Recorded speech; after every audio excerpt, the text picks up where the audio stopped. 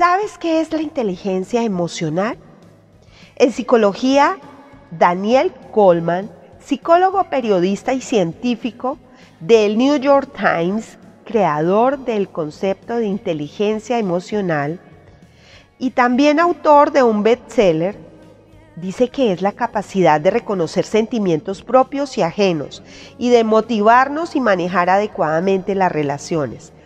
Se refiere al conocimiento de nuestros propios sentimientos y emociones y cómo nos influyen en nuestra vida diaria. Es importante reconocer de manera en que nuestro estado anímico afecta a nuestro comportamiento, cuáles son nuestras capacidades y cuáles son nuestros puntos débiles. Cabe resaltar la selección femenina de fútbol de Colombia que representó en el Mundial en Australia en el 2023. Es el equipo en este momento más representativo del país en las competiciones oficiales de fútbol femenino.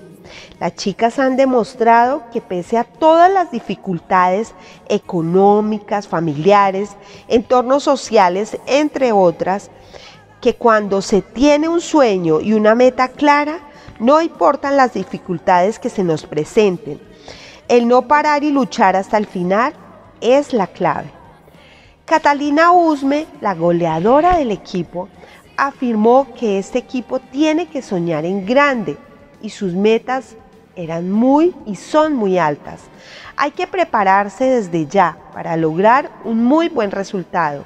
El ver a la gente ovacionarles, se dan cuenta que realmente los triunfos no son solamente de ellas cuando se trata de representar a un país.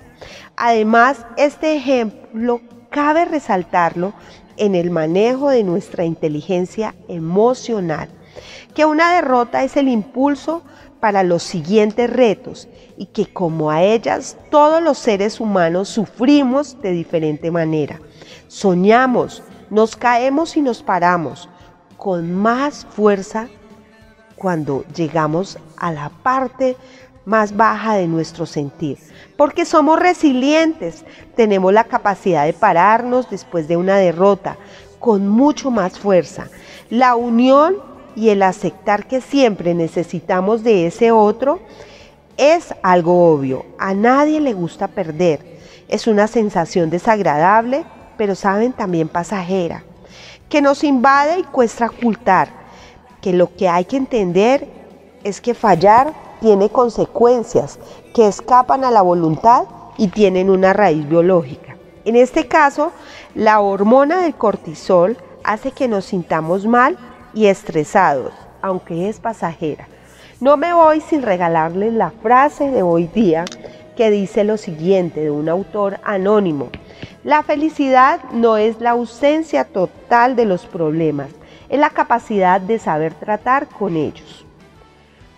Si les gusta temas como estos y quieren apoyar a Sanando el Pensamiento, les invito a que nos apoyen en Bancolombia cuenta a la mano, cuenta de ahorros, al 321-404-2378.